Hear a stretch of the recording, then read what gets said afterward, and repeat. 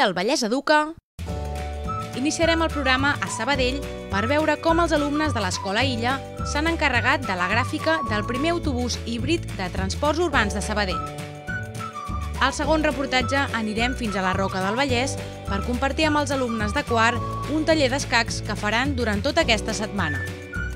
I tancarem el programa a Terrassa per conèixer el projecte Relaciona't i Creix, que porten conjuntament l'Escola Alpí i l'Escola Joaquim Abadruna, on els alumnes dels dos centres comparteixen activitats. Comencem!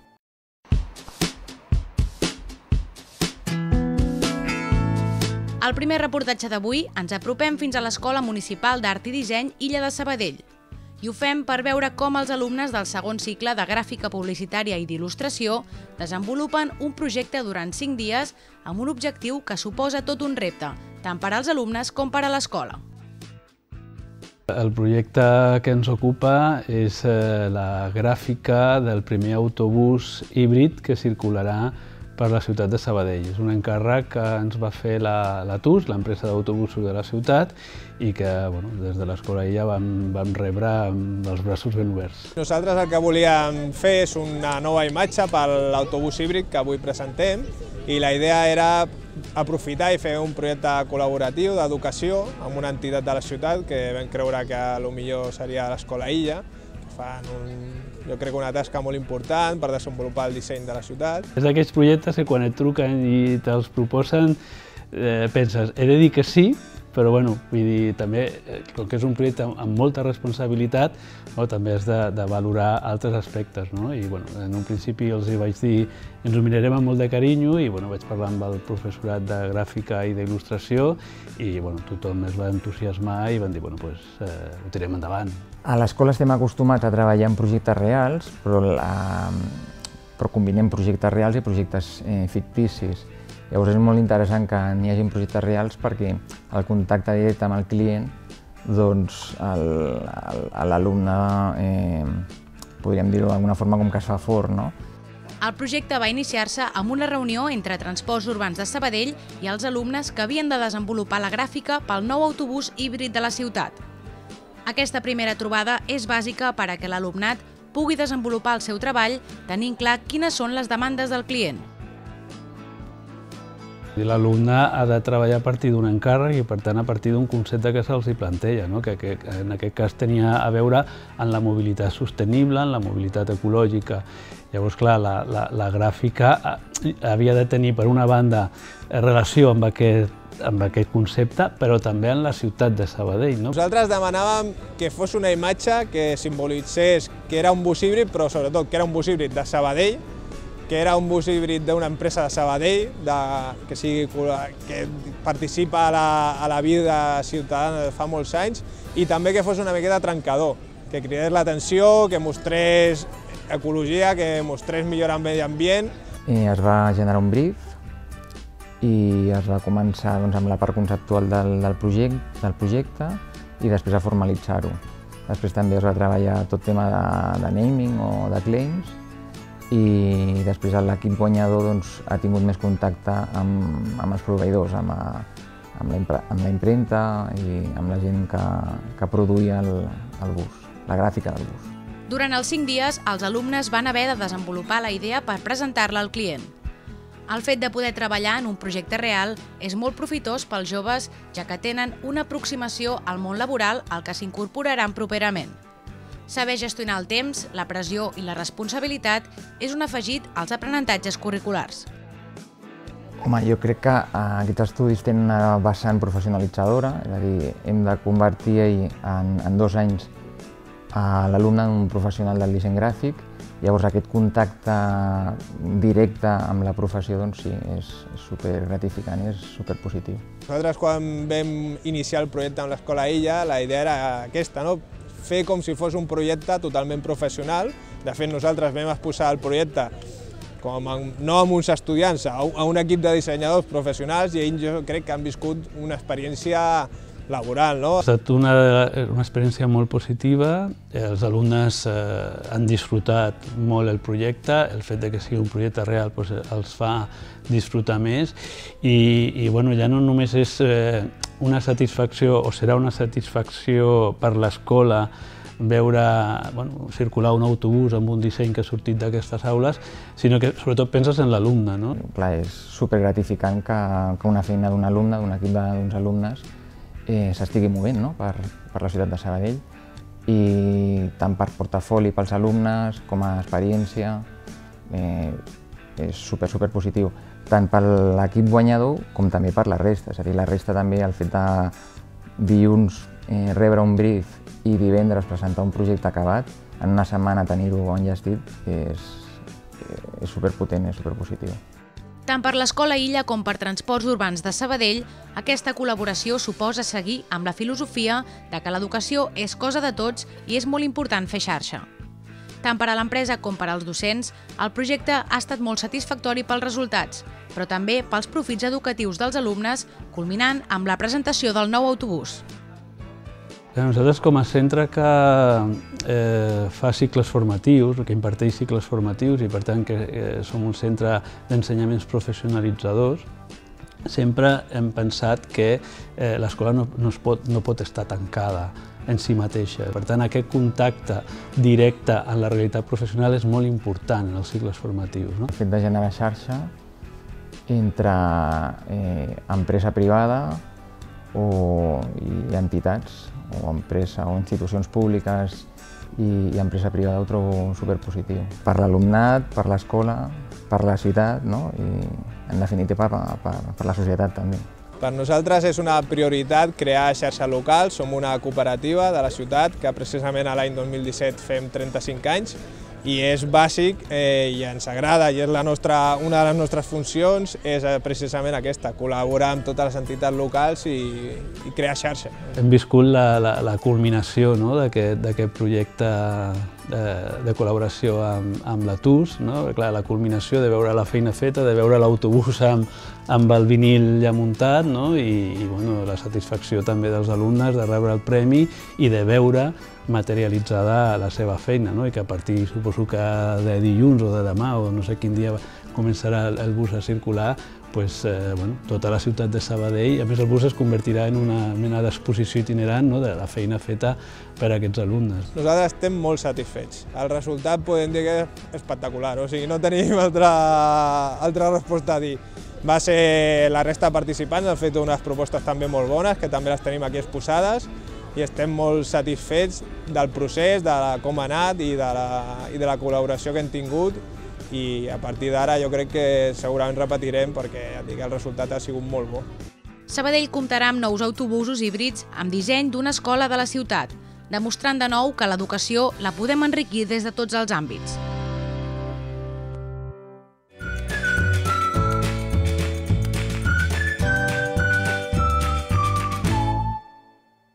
Agora Group, dedicada a la prestació de serveis municipals i d'assessoraments pràctics en tots els àmbits que afecten a la gestió de la ciutat, volem formar part dels vostres projectes sent un referent en la innovació, desenvolupament i orientació al client, recolzat en un equip humà compromès i amb la voluntat d'educar els infants.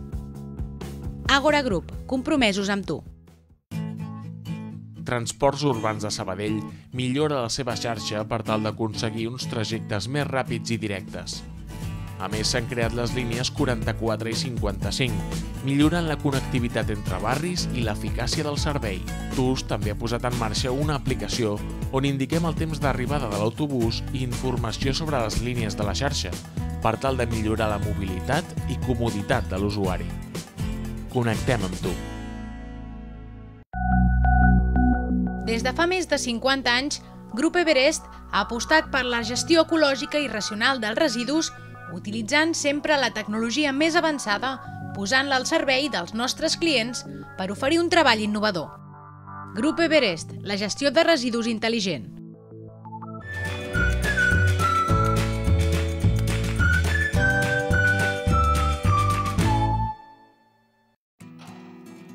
Al segon reportatge d'avui anem cap a l'Escola Mogent de la Roca del Vallès per veure com els alumnes de quart inicien un taller d'escacs que durarà tota la setmana. Les sessions tenen com a objectiu principal que els infants s'introdueixin en aquest joc tan beneficiós pel desenvolupament educatiu.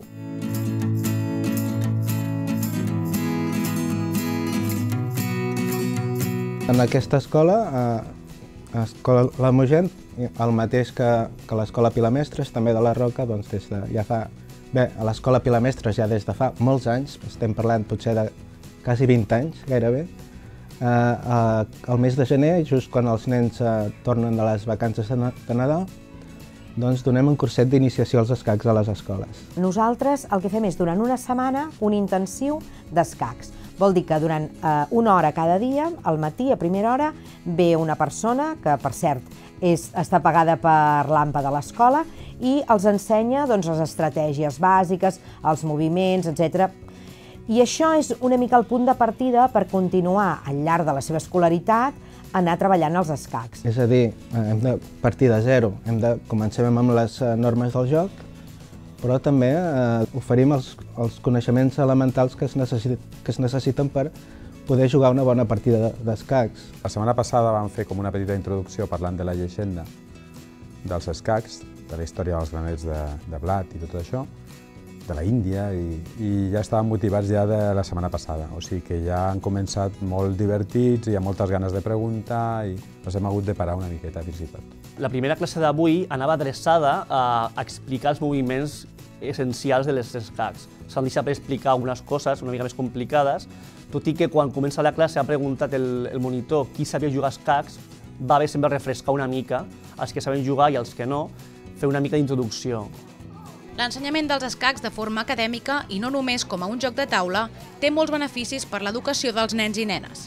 Però no solament en aspectes curriculars com les matemàtiques o les ciències socials, sinó també en valors, respecte al company i concentració. Tots els nens eh, els agrada jugar tota mena de jocs, no? esports físics, eh, jocs físics, o, però també eh, jocs eh, intel·lectuals. No?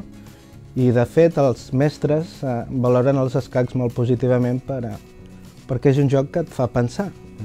Evidentment, en els escacs, eh, abans de fer una jugada has de calcular el que pot passar, has de preveure, no? Eh, has de tenir en compte les conseqüències de la teva jugada. Havia estat com poc acadèmic, era com un joc entreteniment.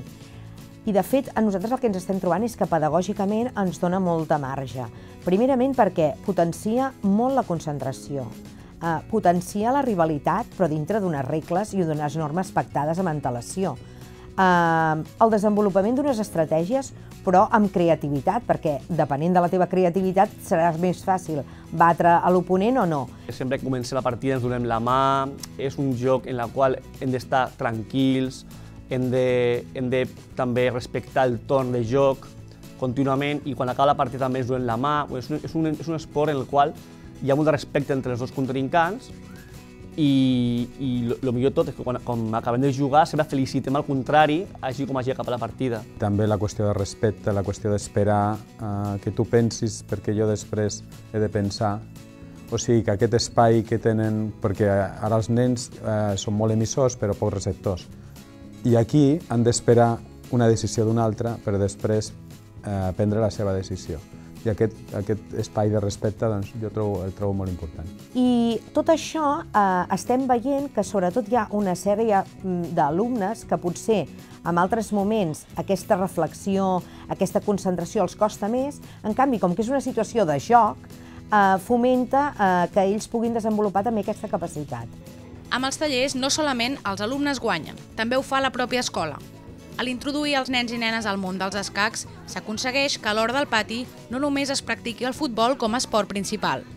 A més, a final de curs, els infants de l'escola Mogent i els de l'escola Pilar Mestres es trobaran per competir i compartir afició. Acabem eh, el tercer trimestre fent una trobada amb l'escola Pilar Mestres i fem una jornada d'intercanvi d'escacs en el qual els nens doncs, fan aquesta activitat i és una excusa també per continuar fent el coneixement mutu amb l'altra escola. Estem acostumats sempre a fer trobades d'esport, però realment els escacs també són un esport i també es costa d'identificar els escacs com un, com un esport, però és un esport mental que també requereix habilitats i estratègies que també podem aplicar a l'escola. Per aquest motiu penso que és, és molt interessant fer una trobada que no sigui sempre d'esport, de, sinó que també tingui una vessant matemàtica i estratègica. Clar, no, no tot és anar darrere d'una pilota, no? Almenys eh, hi ha altres jocs, hi ha altres esports i els escacs, bueno, és, és, és un d'ells.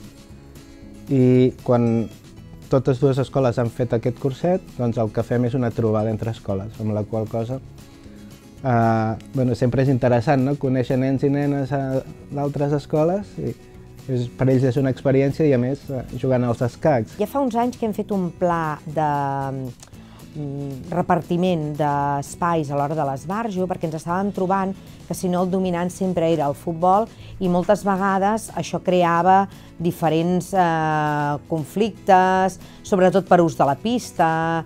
Ja fa anys que vam dissenyar un pla en el qual els nens tinguessin diferents opcions d'escollir a l'hora del pati. Uh, poden venir a la biblioteca, poden anar al gimnàs que fan jocs de malabars, tenen evidentment la pista i el esbarjo escacs. Si no hi ha cap nen jugant a escacs, doncs jo pensaria que això no funciona, però és que quan vaig, quan passo pel vestíbul per anar al pati, em trobo les taules plenes, o sigui que els agrada molt jugar a escacs. Ens acomiadem dels nens i nenes de quart de l'escola Mogent amb ganes de que els escacs els ajudin a progressar acadèmicament. Fins aviat!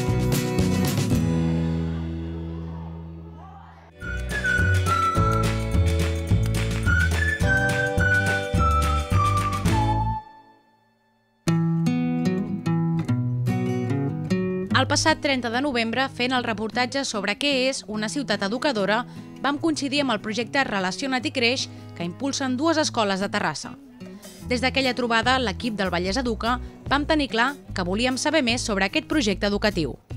El projecte Relacionat i Creix és un projecte que fem entre les escoles Joaquim Abadruna de Terrassa, una escola concertada, i l'Escola Municipal d'Educació Especial Alpí, també d'aquí de la ciutat de Terrassa. És un projecte en el qual fem diferents sessions, sessions de joc que s'apropen dintre d'un marc del que és la psicomotricitat i l'educació física, però sobretot de joc, potenciem molt l'aspecte del joc com a element vital. El projecte ja fa 4 anys i va sorgir eh, per iniciativa de, de Joaquima de Badruna, eh, perquè creia que, bueno, que el, el fet de relacionar nens de, de, diferents, eh, de diferents tipologies, de lo que se'n diu a l'ordinari, gent d'educació especial, alumnes d'educació especial, podria tenir una, una bona fi. Comparteixen sessions de psicomotricitat, els nanos de les dues, de les dues escoles. D'una classe de l'escola del, del Pi i, i 12-13 nanos de l'escola Vedruna. Els nostres alumnes són 25-26 a l'aula, llavors eh, aquí són 5-6 alumnes o fins ara eren 7, no? Llavors, clar, 25 alumnes amb 7 no era. Llavors nosaltres, logísticament, hem de, hem de fer grup reduït, organitzem l'aula de manera que puja la meitat de l'aula. Uh, tenim dos sisès i, puja, i tots, tots, tots els alumnes de sisè, a l'acabar el curs, han passat per l'activitat. Jo sempre recordo que quan vam començar el projecte, una de les coses que, que un company mestre em va preguntar és quin és l'objectiu personal que teniu els mestres, o en, en aquest cas tu, a l'hora de crear un projecte com aquest? Què és el que preteneu? I la resposta va ser molt clara. En el moment que una persona, de tots els que venen, que un alumne canvi la mirada de, del que és la relació entre aquests, aquestes persones amb capacitats molt diverses, en el moment que això existeixi, eh, ja tindrà una finalitat positiva aquest projecte. El projecte Relacionat i Creix es desenvolupa a l'edifici de l'Escola Alpí. Benvinguts a l'Escola Alpí. Ja sabeu que avui comenceu una, unes sessions amb els alumnes del, del grup del, del Globus. Jo l'únic que us volia dir és que ja us ho ha explicat el Carles a les classes, no? Que trobareu, que trobareu uns nois eh, que són diferents de vosaltres, però això no vol dir que amb aquesta diferència vosaltres no us pugueu entendre amb ells. Durant sis sessions, els nens i nenes dels dos centres compartiran activitats de psicomotricitat i joc on el punt de partida és igual per a tothom. Avui assistim a la primera sessió pel grup reduït de l'Escola Joaquim Abadruna que omple d'expectatives als infants.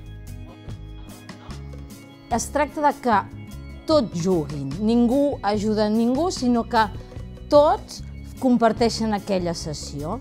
Llavors, per exemple, hi ha una sessió en la qual fem el joc de les cadires adaptat, uh, després també hi ha sessions que fem al pati, amb paracaigudes, uh, o sigui, són sis sessions, n'hi ha una que anem al centre. El punt de partida per això, quan els nens arriben, és que juguin com a iguals, és a dir, no posem condicions, no diem uh, que uns nens han de fer una cosa i uns nens han de fer l'altra. Els diem a tots el mateix missatge.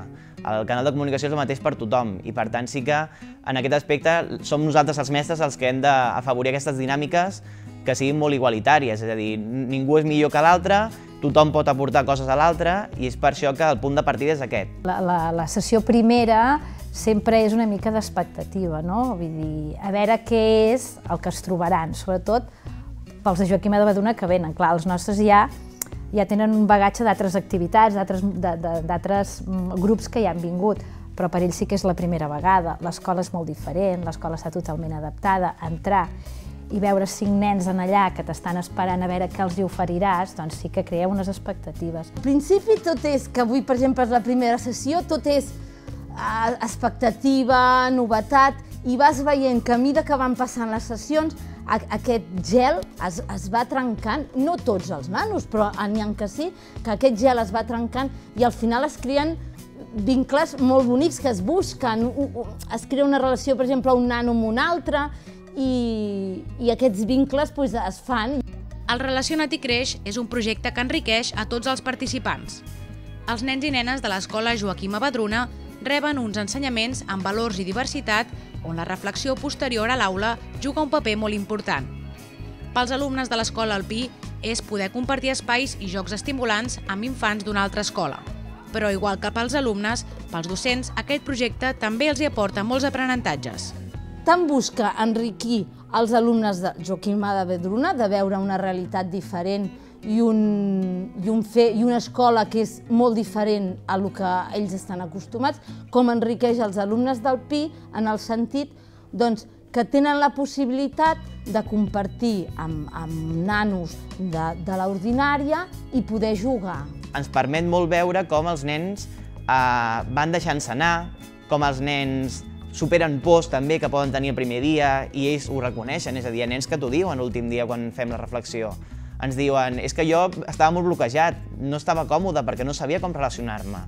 Amb el pas de les sessions, amb les dinàmiques de joc que hem anat creant, aquests nens s'han pogut deixar anar i ho expliquen i ho verbalitzen, no? Toca tots, tots els valors.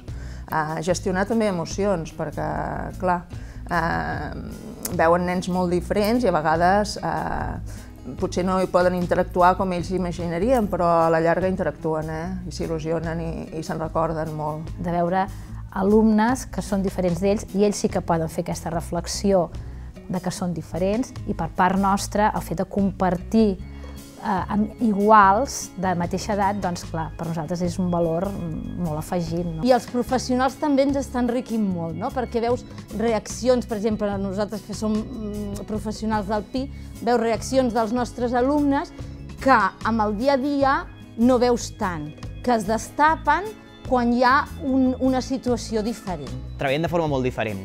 Som mestres, però a l'hora de, de treballar el nostre dia a dia és molt diferent. I és per això que ja el fet d'arribar a escoles amb una dinàmica molt diversa i poder entrar dintre d'aquesta realitat, ja t'emportes un aprenentatge. Quin és l'aprenentatge? Doncs el fet de poder veure que hi ha formes diferents de, de fer les coses, no? i d'aplicar fins i tot eh, elements d'una escola a l'altra. Canviar la mirada davant la diversitat, un aspecte a treballar en l'educació, ja que tenim una societat molt diversa. I el Relacionat i Creix està contribuint a aquest canvi a través dels seus alumnes i futurs adults. Un projecte que contribueix a que tots canviem la mirada eliminant pors i prejudicis. La gràcia d'aquest projecte és que ja són nanos de, do, de 12 13 anys i, i això Uh, ho fa molt enriquidor, perquè ja són records que, que se'n recordaran, que aquests nanos que han passat els, els 70 o quan s'acabi uh, 100 nanos que han passat pel projecte, pues jo penso que això ja s'ho enduen, que quan siguin adults i vegin algun nano amb cadira de rodes pel carrer, ho, veurà, ho viuran de manera diferent. I també una de les coses importants és com els nens després per ells s'emporten aquest bagatge del projecte i l'apliquen a la seva vida. D'alegria, d'il·lusió, d'haver conegut la diversitat, de...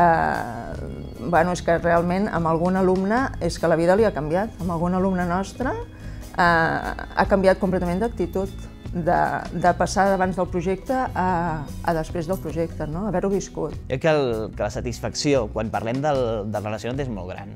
Totes les persones que, que hem viscut el relacionat, és a dir, hem passat diferents professionals per, per les sessions, eh, tenim la, la sensació de que el que estem fent és una cosa positiva. Ens creiem el projecte, creiem realment que el que estem fent amb els nostres alumnes és positiu, que els estem fent un regal, i els nens també t'ho defineixen com un regal, és a dir, gràcies pel que pel que ens heu ofert el fet de poder venir. Estem molt, molt satisfets amb, amb els resultats, amb el treball de, de, de ser capaços de treballar dos equips de dues escoles, l'avinença que hi ha hagut, i, i, a, i amb els nanos doncs també, no? ser, ser capaços de treballar tots en un i veure que sí que som capaços de fer activitats comunes. Creiem que els nens tenen una mirada molt més neta que potser els grans que poden tenir prejudicis. D'inici perquè, perquè els grans ja no només és pel fet de tenir un prejudici amb una persona que pugui tenir una discapacitat o que pugui tenir capacitats diferents, sinó pel fet de que moltes vegades tenim un sentiment de pena envers les persones amb discapacitat. I des d'aquest sentiment de pena costa molt el relacionar-se entre iguals.